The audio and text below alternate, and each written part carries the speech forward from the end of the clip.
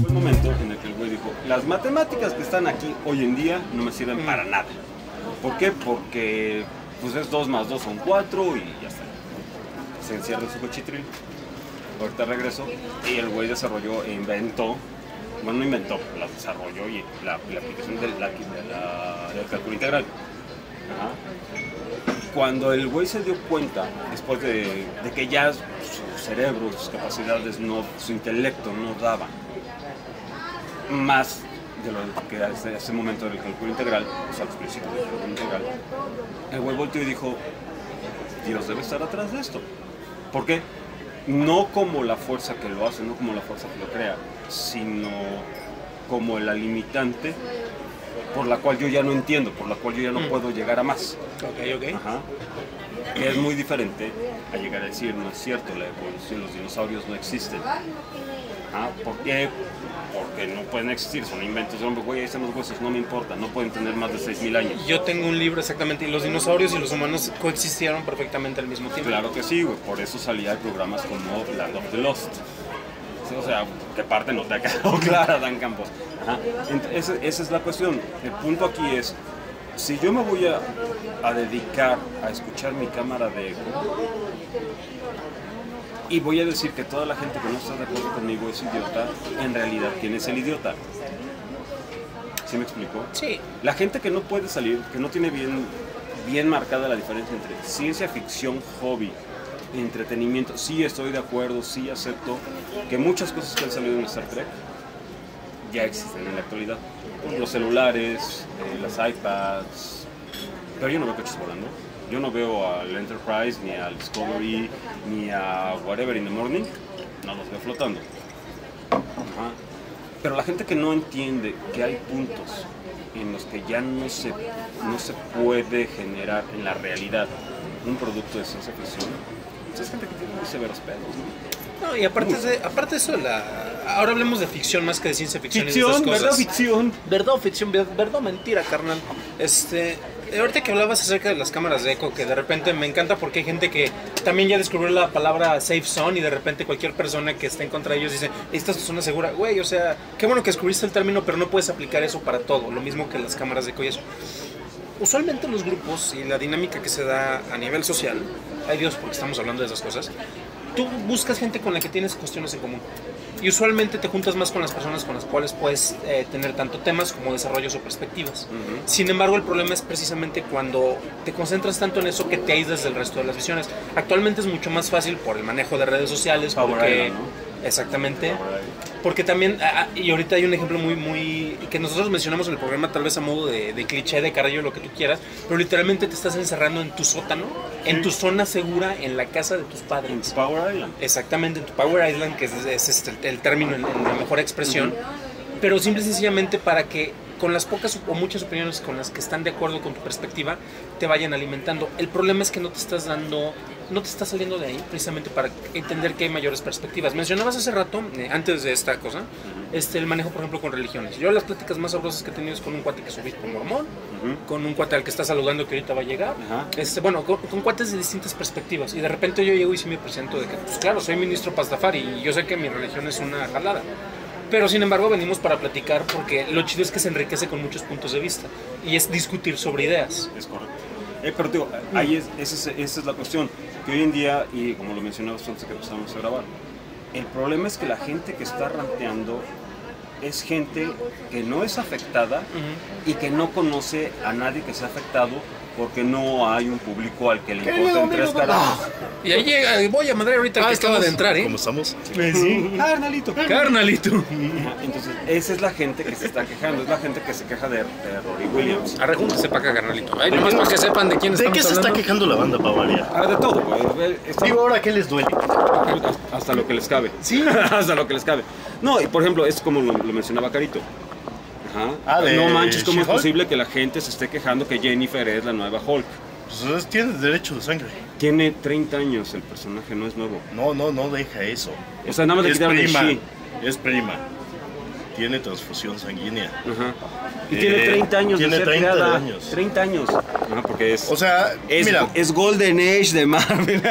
no, no, ese sí es más silver que la fregada, pero bueno. ¡Hayo, Silver! De hecho ya es tirando la moderna, ¿no? ¿Qué es? ¿70? 80, ¿no? No, es 70, finales de los 70, no 79, 77. Es Silver algo Age. así. 78, Silver Age todavía. 79, ¿no? Todavía Silver. Silver. Ahí está, bueno, No, de hecho, Marvel no tiene otra cosa, Bueno, de güey. hecho, es Stan Lee y luego este, el resto que le hace Stan Lee Pero recordemos que originalmente era Savage She-Hulk. es Savage Hulk. Ahora, la cuestión Luego de... Sensational es la que Bart. Exactamente. Aquí el, el problema de todo esto es que llega el momento en el que la gente... ¿Qué, te, qué le afecta a la banda? Que haya una Jennifer... eh, ¿Cómo se apellida? Walters. Walters. Una Jennifer Walters. Que sea Hulk. O sea, Tiene su es público. She-Hulk. Ajá, no, Mira, tiene su público. tiene el público bastante. Yo creo que es uno de los iconos femeninos de Marvel Es más representativos Mejor que existe. establecido y más consistente además, ¿no? Es Güey, que, En el momento que Baron la agarra y la ponen después de Marvel Super Heroes Secret Wars... de hecho, es la que la rompe ponen, la cuarta. no, pero, cuando eh, la ponen en Fantastic Four de Barn, es la mejor etapa de Fantastic Four en su historia. Es el mejor miembro, por cierto, sustituto. integrante, integrante. Miembro, porque aquí en Destripando todos somos miembros. Bueno, está bien. Ella es integrante. Integrante, sí, sí. Ella, Ella sí, integra, Ella sí es un integrante. ella integra a los miembros. Exactamente. Se integra a los miembros de Fantastic Four. Ella integra a los miembros. Ah, ok. Ahí bueno. entiéndanlo. Ok. Eh, pero de todos modos, como mencionas, es cierto. Ha sido, yo creo que, la mejor Ford, eh, Ford non-member. Ford Wheel. O exactamente, Ford Wheel, exactamente. Sí, que ha bueno. tenido este, los Fantastic Four, sin lugar a dudas. ¿eh? Ahora. no, no es Herbie. No, No, ni madre. No, ya no voy a comentar nada. Otro comentario, no. Sí, Ahora, porque vi el cast que estaba haciendo ahí mi querido. La cueva del nerd, Ah. Shameless Plug. Y, y, y pone Herbie, no mames, güey. Se trata de salvar la franquicia, no volverla a chingar. Excepto- Por favor. Excepto, no pidas más. excepto. No, a lo, que, a lo que vamos es esto, que llega el momento en que la gente, si estás de acuerdo con que She-Hulk, retomando, Jennifer, aunque Jennifer sea verde y me lo dices a mí, automáticamente estoy de acuerdo contigo, eres mi amigo y son, vamos contra el mundo. Sí. Pero si yo te digo, güey, no tiene sentido que exista una Jennifer Walters, bla, bla, bla. Y nada más te digo, no, ¿por qué no? O sea, estás bien pendejo.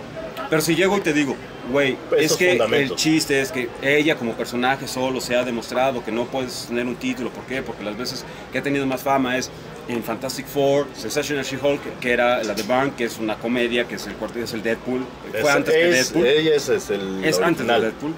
Y este, o en Avengers o cosas así por el estilo. americana. O sea, si me das un argumento, para mí es más válido que estés en que no estés de acuerdo con lo que yo digo. Claro, porque Ah. lo estás fundamentando. Exactamente. Mira. si no me dices, pues, pues cuicuiri, porque sí. ah, Mira, mira, una, una de dos. Eh, bueno, hay varias, hay varios puntos. Uno, el quitarle el she. ¿Por qué? Porque lo hizo Thor primero. De hecho, Thor dijeron, no va a ser she Thor. pues, pinche. Ahora, She-Hulk es algo pinche que ya hemos estado viviendo desde que fue creada. Y es algo que es inherente. Quizás no era necesario quitarle el She. No, no lo era. La verdad. Ahora, se adiciona al... Vamos a darle más fuerza porque ya no hay un Hulk en este momento. ¿No estás de Incredible, Totally Awesome Hulk? De Es hecho, que- ella viene a llenar ese hueco, si no me falla la memoria. No, o él viene a llenar. Ay, sí, no, ese no, esa no ausencia, llena. esa ausencia, ausencia, no ausencia. sí, es de- Ese, porque precisamente que llega a ser el único Hulk que queda en ese momento, ¿no? Por eso es el, el Totally Awesome. genderless Hulk. Exactamente. Porque es el único representante. A- aparte, Jennifer ahorita trae el cargo de conciencia de lo que pasa en este Civil War Ajá. como tal y es como un homenaje a su primo, tal cual. Pero el punto, el punto carnal, estoy totalmente casi de acuerdo en todo lo que dices. No, no es cierto. Pero eh, el punto que estábamos tratando no es ese. El punto es que la gente, mientras viva viva en tu cámara de eco, mientras no invada tu safety zone, tu power island, que es el, el sótano de casa de tus papás, y cuando tu muñeca inflable no se pone a discutir contigo y te da la espalda, ajá, o sea, todos están de acuerdo, todo está bien. En el momento en que la gente... en el cual- Transgrede. no transgrede, simplemente no está de acuerdo contigo y tienes, al igual que tú, vives con la idea o con la sensación de que lo, lo que tú estás pensando es la verdad, Es la neta, está bien está fundamentado. No, está bien fundamentado. Si la otra persona que no está de acuerdo contigo también tiene la noción de que está bien fundamentado, expone sus puntos para contigo. Mientras expongan sus puntos Y- está bien, una discusión El civilizada. problema es que esa es la gente que ya no aceptan en las redes sociales o como amistades. ¿Por qué? Porque ya no pertenece a tu cámara de eco Claro. y porque te está invadiendo tu safety zone y está transgrediendo tu power aire. Estoy completamente de acuerdo contigo. Ahora, si se quejan, tenían más motivos de quejarse por el Totally Awesome Hulk. No, ¿Por qué? Porque Amadeus Cho, era chino, es chino. deja eso, deja, deja que es coreano. Es taca, taca. Coreano. Es. Eh, Que ahí hay unas cosas que tenemos que platicar, por cierto, de los castings en la película, que está muy interesante, sobre todo, por ejemplo, lo de que no tiene madre, por ejemplo, de Scarlett Johansson. Insisto que es algo muy curioso, No. ¿no? Pero bueno, eh, cu- cuando entiendan que Es no pueden castear puro japonés porque no la van a ver en China y viceversa, entenderán por qué tiene que ser un casting mundial. Ahora, También, Sí. viste, también viste ese post en sí, Facebook, sí, ¿verdad? sí, por supuesto. Me abstuve de comentar porque la verdad me da hueva. Sí. Honestamente. Pero, pero la verdad, este. o no es ficción, no es No, no, ficción. no, pero deja eso. o no sea, es que ficción. te- tengas tus motivos de agenda, que quieras hacer que participe la humanos. gente, que eso, para un estudio cuyo lenguaje es el dinero, para una macroproducción en el cual le van a meter varo a lo pendejo, porque tengo entendido que es la que más varo se le ha metido de ciencia ficción en un buen rato, total.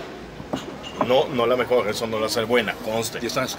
Pe- pero de todos modos, al hacerla mundial, La tienes para poderla repartir en todos los, este, en todas las plazas. Es lo ¿Por que qué dijimos. no puede ser políticamente correcto? Stephen Strange.